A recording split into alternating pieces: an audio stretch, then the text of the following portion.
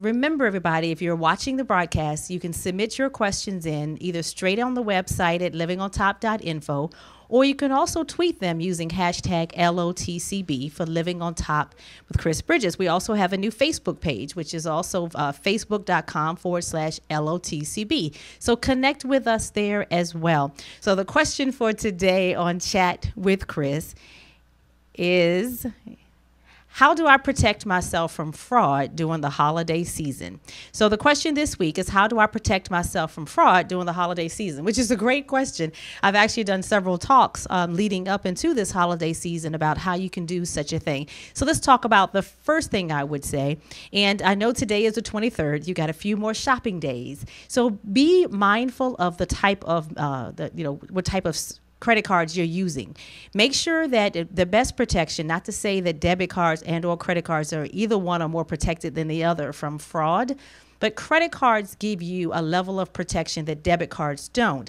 Because if your credit cards are compromised, you at least have 30 days before the next billing cycle to go back and forth and deal with your credit card provider. And most of them, of course, if you tell them that you were a victim of fraud, will be able to um, reverse those charges. However, if you're using your debit card when you're out shopping and someone hacks into your bank, they just got all of your money. So yes, the bank does protect you. We're all protected under FDIC rules. However, you know, it's one thing to go and get your money back. It's another thing to not get your money taken at all. So debit cards were not really protected at all. And this uh, pertains to both a debit card and a credit card that's attached to your bank account that says the word credit from this perspective, it's really the same thing. So just make sure that you're using a credit card not attached to your bank account to give you the best protection. And then, of course, make sure that you're monitoring your credit during the holiday season. So make sure you're monitoring it in December.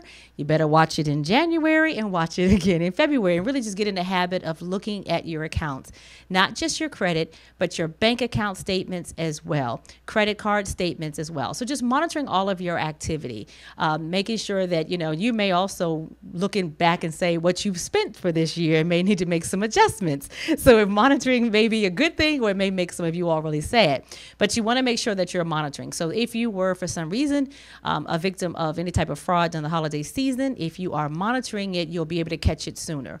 Okay, remember anybody can take your money, and if you're not watching, they can take it and keep it. So make sure that you're monitoring. Those two quick things I would say that you can do, and of course also as we're going into this holiday season and we're in it, remember the reason for the season. Enjoy your family and don't worry about, you know, spending or shopping. I often say divorce yourself from the opinions of others and just enjoy the season to be with family and friends. And if you don't have it, don't spend it. So there's your answer on Chat with Chris. Again, if you've got a question you want to submit to us to uh, respond to on the air, just submit it right to us on Twitter using hashtag LOTCB or go to the website live livingontop.info and you can submit your questions right there on the form. So thank you so much for that.